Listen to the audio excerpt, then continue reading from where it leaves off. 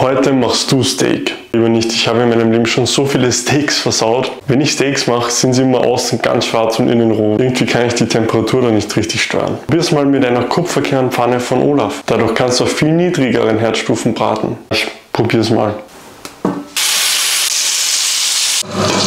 Schneid's durch und probier's. Moment der Wahrheit. Boah, also ich dachte echt nicht, dass ich sowas schaffe. Aber liegt es an mir oder an der Pfanne?